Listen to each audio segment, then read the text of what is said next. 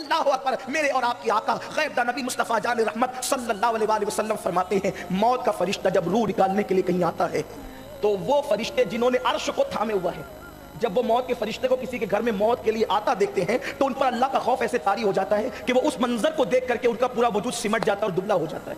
किनका वो फरिश्तों की रूह निकालने नहीं आया, वो किसी और की रूह निकालने आया है, लेकिन ये मंजर देखकर हामिली ने आज उन पर अल्लाह का ये खौफ तारी हो जाता है। सोचो तो सही, वो कैफियत क्या होती होगी फरिश्ते इस मंजर की ताब नहीं ला पाते और उनका वजूद सुकर जाता है। तो जिस इंसान पर मौत तारी होती होगी, जिसकी रूह निकलती होगी, उस वक्त उसकी कैफियत का हाल क्या होता होगा? उस वक्त उसकी पोजीशन क्या होती होगी? अल्लाह अकबर। और फिर इतनी प्यास मुसल्लत की जाती है कि ऐसा लगता है जैसे सात समुंदर भी मुँह में उंडेल दिए जाएँ। तो प्यास नहीं बुझ सकती और रिश्तेदार एक एक एक कतरा पिला रहे होते हैं, यानी प्यास और बढ़ा रहे होते हैं। क्योंकि जब किसी को प्यास शिद्दत की लगेगी और थोड़ा सा पानी पिलाओगे तो प्यास मिटेगी नहीं, बल्कि बढ़ जाएगी। अल्लाह अकबर। अगर साकी कौसर उस वक्त करम न फरमाए तो उस वक्त दुनिया की कोई ताकत प्यास नहीं बुझा सकती। मेरे आका वसल्लम के दीवानों, मेरे और आपके आका गैब नबी सल्लल्लाहु अलैहि वसल्लम फरमाते हैं एक एक बाल से एक एक हड्डी से एक एक चमड़ी के हिस्से से रूह निकाली जाती है। और आका फरमाते हैं, एक जोड़ से दूसरे जोड़ तक के रूह आती है। तो उस वक्त जब एक जोड़ से दूसरे जोड़ के दरमियान रूह आती है तो इंसान इतनी तकलीफ़ महसूस करता है। अगर एक हज़ार तलवारों की जरबे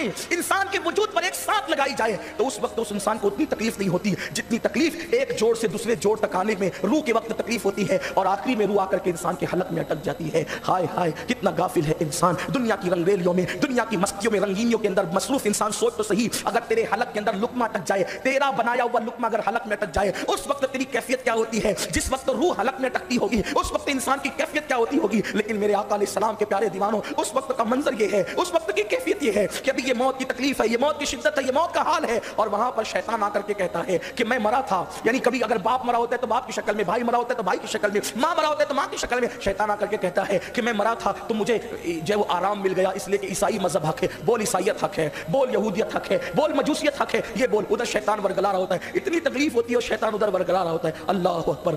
यानी कि एक तरफ़ इतनी तकलीफ़, दूसरी तरफ़ शैतान का वर्गलाना।